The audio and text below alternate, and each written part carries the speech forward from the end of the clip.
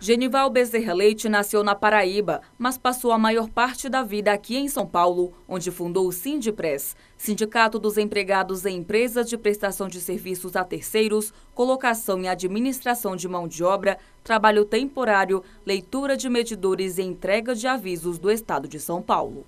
Nós sempre temos procurado fazer um trabalho para os trabalhadores de, na forma de benefícios, trazer melhorias para eles, desenvolver colônia de férias e principalmente na área de educação.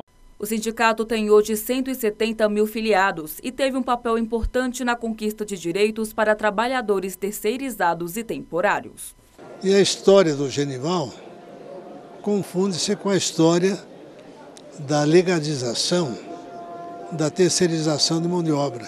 Ele batalhou por isso vem batalhando há mais de 20 anos, ou há mais de 30 anos. É uma pessoa que ajudou muito na discussão da regulamentação das empresas, dos serviços terceirizados.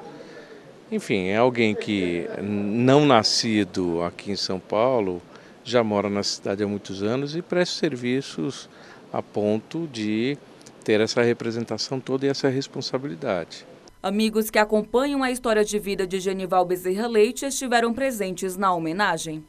Trata-se de um esforçado brasileiro que organizou é, segmentos, setores do serviço temporário, trabalho temporário, dos serviços terceirizados, serviços especializados, e vem conduzindo com mestria, com grande capacidade de liderança, esses setores.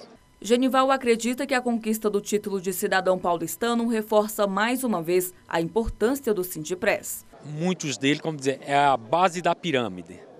Então, para eles é muito importante esse trabalho, esse esforço que a gente tem feito no dia a dia e há anos nós estamos fazendo e vamos continuar fazendo porque é nosso trabalho.